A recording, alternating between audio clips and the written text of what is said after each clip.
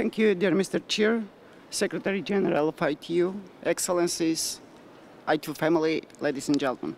It's my great pleasure and honor to be here on the Plenipotentiary Conference of ITU, and on behalf of the government of Georgia, I would like to express our gratitude and appreciation to the government of Romania for warm welcome and for excellent organization of this very important conference. As a matter of the fact, we are living in a digital world and information era where the access to the internet becomes one of the uh, inseparable part of our daily lives.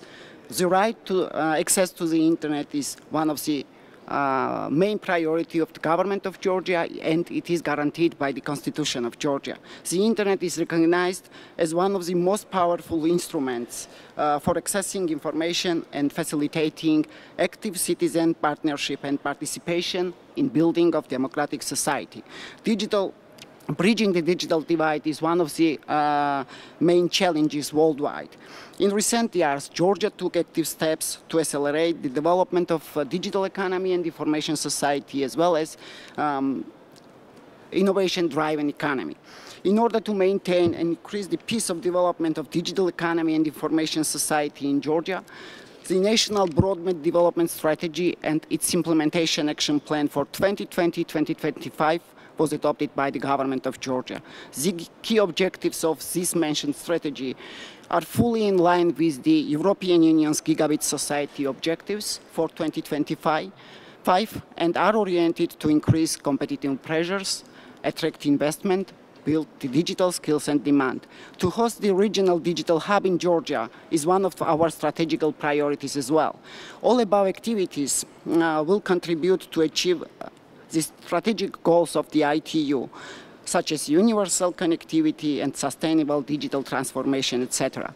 Ladies and gentlemen, last but not least, I would like to draw your attention to the regretful fact that the government of Georgia is de uh, deprived of the possibility to exercise its de facto jurisdiction over the entire territory of Georgia uh, within its internationally recognized borders among them in the sector of the telecommunications and information te technologies as a result of continuous military aggression against Georgia and the illegal occupation of the Georgia's inseparable parts uh, of Abkhazia and Tskhinvali region, South Ossetia, by, by the Russian Federation which uh, further continues the blatant violation of the uh, fundamental principles and norms of the international law, Helsinki Final Acts, the UN Charter and UN uh, Security Council resolutions.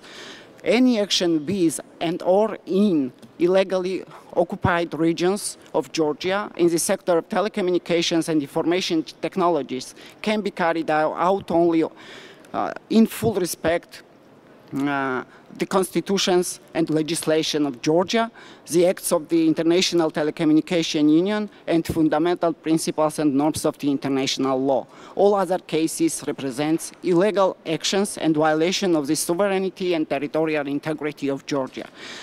The international community must stand together and stand strong in support of the principles of sovereign equality of states and inviolability of their internationally recognized borders. And Georgia, of course, follows the norms and principles of the ITU Convention, Constitution and regulations, and is ready to continue the close collaboration with the ITU family for further development of ICTs. In conclusion, I would like to, well, uh, to, to thank the uh, entire ITU team for this perfect work performed, and I would like to wish all of you successes in your further activities. Thank you.